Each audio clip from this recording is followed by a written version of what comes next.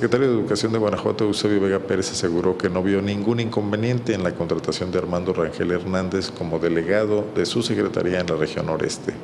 Rangel Hernández fue acusado en el año 2009, cuando se desempeñaba en un alto cargo federal, era director del Registro Agrario Nacional, de apropiarse de más de 44 mil hectáreas de un ejido, el ejido José María Pino Suárez en Quintana Roo.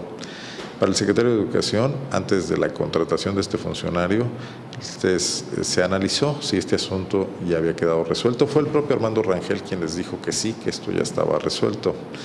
Dijo el titular de la Secretaría de Educación que deberá ser la Secretaría de la Transparencia y Rendición de Cuentas la que verifique si efectivamente se solventaron las acusaciones en contra de Armando Rangel.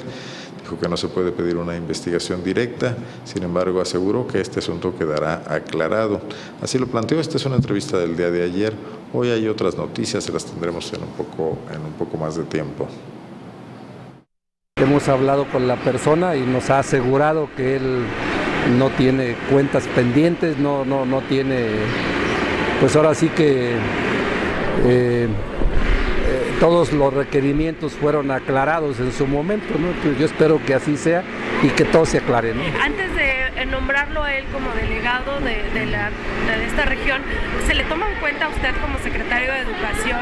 Sí, por supuesto, yo soy el responsable, yo soy la autoridad y le verificamos sobre todo el perfil si no hay ninguna imposición de ningún tipo. ¿Y usted ya tenía conocimiento previo al nombramiento sobre esta situación por la que atravesaba el delegado?